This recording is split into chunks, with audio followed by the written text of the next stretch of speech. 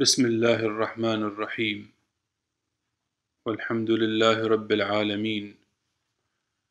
وصلى الله على محمد وآل محمد. الأئمة والمهديين وسلم تسليما كثيرا. السلام عليكم ورحمة الله وبركاته. أتقدم بالشكر لإدارة الملتقى الأسبوعي. لمعهد الدراسات العليا الدينية واللغوية. كما أشكر الحضور الكريم والمستمعين. ورحم الله الذين يستمعون القول ويعونه ويتبعون الحق الذي فيه وإن خالف أهواءهم وما وجدوا عليه آباءهم وكبراءهم. موضوعنا اليوم هو آية إكمال الدين. قال تعالى حرمت عليكم الميتة والدم ولحم الخنزير وما أهل لغير الله به والمنخنقة والموقوذة والمتردية والنطيحة وما أكل السبع إلا ما ذكيتم. وما ذبح على النصب وأن تستقسموا بالأزلام ذلكم فسق. اليوم يئس الذين كفروا من دينكم فلا تخشوهم واخشون. اليوم أكملت لكم دينكم وأتممت عليكم نعمتي ورضيت لكم الإسلام دينا. فمن اضطر في مخمصة غير متجانف لإثم فإن الله غفور رحيم. الذي اكتمل بحسب هذه الآية هو الدين، والدين هو الشريعة والعقيدة، والقول بعدم اكتمال أحدهما يتعارض مع ظاهر الآية. كما أن عدم اكتمال أي منهما في واقع حال وفي أطروحة أي طائفة إسلامية. يعني أن هذه الطائفة غير محقة لأن واقع حالها يخالف ظاهرا قرآنيا جليا. السلفيون أو الوهابيون والسنة عموما يشرعون بالأمس واليوم دون وجود نص عن المعصوم في مسائل كثيرة من المستجدات الحياتية التي تتطلب حكما شرعيا تعبديا. وكمثال الصلاة في المناطق القريبة من القطب. وبالتالي فواقع حالهم يقول إن الدين عندهم غير مكتمل. ولهذا اضطروا للتشريع بالآراء عند فقد النص كما أنهم أيضا مختلفون فيما بينهم في العقيدة اختلافا كبيرا. فالسلفيون أو الوهابيون مثلا يعتقدون بأن لله عينين ويدين وأصابع على الحقيقة والأشاعرة كالأزهر لا يعتقدون بهذا. بل يعتقدون بفساد العقائد السلفية الوهابية. أما آل محمد صلوات الله عليهم فاكتمال الدين عندهم بتنصيب خليفة الله حيث إنه صلى الله عليه وآله من يتكفل بيان العقيدة الحقة والتشريع بأمر الله وبالتالي لا توجد ثغرة ولا تناقض بين هذه العقيدة وبين ظاهر آية إكمال الدين. فالدين يكتمل بتنصيب الناطق عن الله أو خليفة الله بعد رسول الله محمد صلى الله عليه وآله. وبهذا يكون الدين عقيدة وتشريعا. قد اكتمل فلا توجد ثغرة في هكذا دين يسدها فقهاء غير معصومين بآرائهم وأهوائهم كما هو الحال في الاعتقاد السني المتعارض مع ظاهر الآية. أما مسألة غيبة المعصوم فنحن نقول إن غياب المعصوم هو عبارة عن عملية تغييب له. نتيجة عدم وجود القابل له ولمشروعه الإلهي. كما هو لا كما يفترضه ويتوهمه المنتظرون المفترضون. وبالتالي فلا تعارض بين هذه العقيدة وبين ظاهر آية إكمال الدين.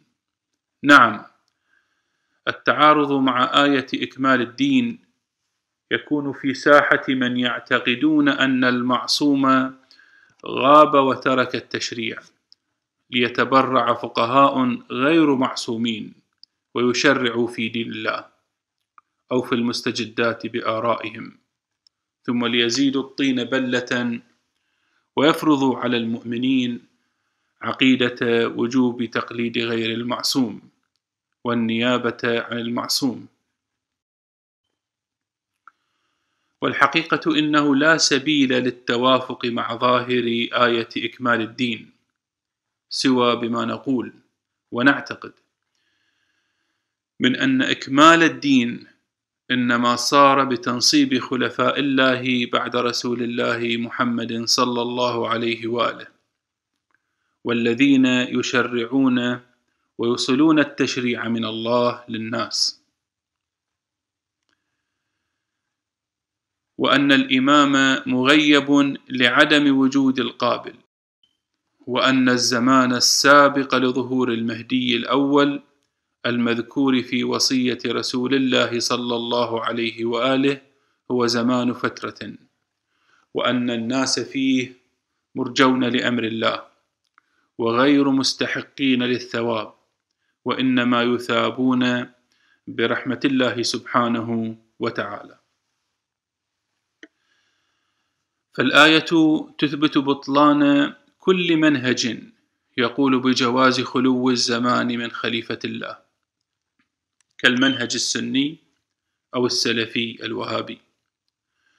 وأيضا تثبت بطلان كل منهج يقول بغياب للمعصوم دون تقصير الأمة وعدم وجود القابل. فالآية تتعارض مع هذه المناهج في الصميم. حيث إن الدين عندهم وبحسب واقعهم العملي غير مكتمل إلهيا بخليفة إلهي منصب من الله. أو من نصبه للتواصل مع الناس كالسفراء. وإنما يكمله فقهاء غير معصومين تبرعا وتطفلا في فترة ما. ليشرعوا بالظن وينتجوا أحكاما هم يقولون إنها ليست حكم الله الواقعي.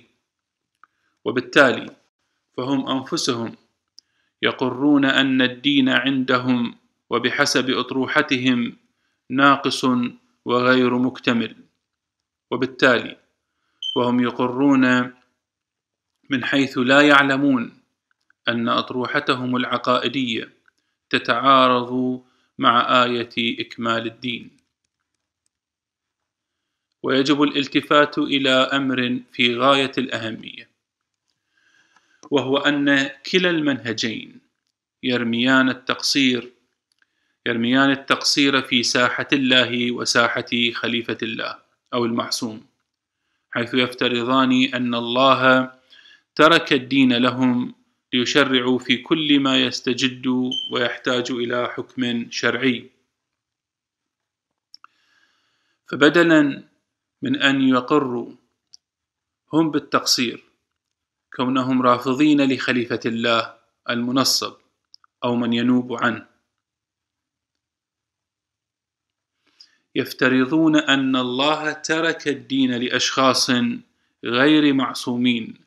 وغير منصبين من المعصوم ليشرع كل منهم برأيه وبدون أي نص شرعي. وهذا في الحقيقة طعن صريح بحكمة الله. إضافة إلى أنه كما تقدم يتعارض مع قول الله سبحانه من أنه أكمل الدين. إذن خلصنا في هذا المختصر إلى إن هناك منهجا يفترض خلو الأرض من الحجة ومثاله المنهج السني أو السلفي وهو منهج واعتقاد يعارض ظاهر النص القرآني في مواضع منها آية إكمال الدين كما تبين. أما المنهج الآخر فهو الذي يقر بأن الزمان لا يخلو من الحجة ولكنه يقول بأن الحجة يمكن أن يغيب مع وجود القابل دون أن ينصب وينص على من يقوم مقامه بعينه ليقوم هذا النائب بإيصال حكم الله الواقعي. وبالتالي فمن يسد النقص في الدين هم فقهاء متبرعون من أنفسهم وغير منصبين من حجة الله. وتعارض هذا المنهج مع آية إكمال الدين. واضح. فبحسب واقع حالهم الله لم يكمل الدين. ولهذا فالحل عندهم أن يتبرع فقهاء غير منصبين ولا منصوصا عليهم بأعيانهم. لسد النقص بأحكامهم وفتاواهم التي لا تمثل حكم الله الواقعي. والحقيقة إن هذا المنهج لا يفترق عن سابقه كثيرا فكلاهما يتعارضان مع آية إكمال الدين. أما المنهج الثالث فهو ما طرحناه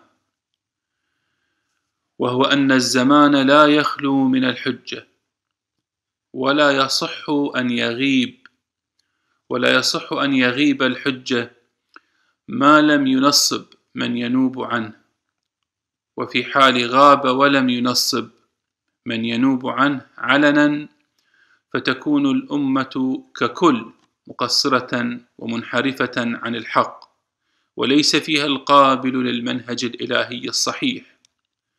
وفي هذا الحال تقام الحجة بتعيين الرسول أو النائب ولكن لا يطلب منه الإعلان والتواصل مع الناس لعدم وجود القابل له. وفي هذا الحال تكون الأمة المؤمنة بخلفاء الله في زمان فترة. يا أهل الكتاب قد جاءكم رسولنا يبين لكم على فترة من الرسل أن تقولوا ما جاءنا من بشير ولا نذير فقد جاءكم بشير ونذير والله على كل شيء قدير. ويكون حال أفرادها أنهم مرجون لأمر الله وآخرون مرجون لأمر الله إما يعذبهم وإما يتوب عليهم والله عليم حكيم. كحال الأحناف قبل بعث الرسول محمد صلى الله عليه وآله وكحال الشيعة قبل بعث المهدي الأول المذكور في وصية رسول الله محمد صلى الله عليه وآله. في كتاب الغيبة للنعماني عن شعيب بن أبي حمزة قال دخلت على أبي عبد الله عليه السلام فقلت له أنت صاحب هذا الأمر؟ فقال لا. فقلت فولدك فقال لا. فقلت فولد ولدك فقال لا. قلت فولد ولدي ولدك قال لا. قلت فمن هو؟ قال الذي يملأها عدلا كما ملئت ظلما وجورا. لعلى فترة من الأئمة يأتي كما أن النبي صلى الله عليه وآله بعث على فترة من الرسل. فالخلاصة أنه لا يوجد منهج ينزه ساحة الله من التقصير وكذلك يتطابق مع آية إكمال الدين ولا يتعارض معها. غير المنهج الذي طرحناه وهو أن الزمان لا يخلو من حجة ظاهر متصل بالأمة مباشرة أو من خلال سفراء في حال وجود مانع أو حجة غائب غير متصل بالناس. وفي هذا الحال فالزمان هو زمان فترة لعدم وجود قابل والمؤمنون فيه مقصرون وحالهم أنهم مرجون لأمر الله والحمد لله رب العالمين والسلام عليكم ورحمة الله وبركاته.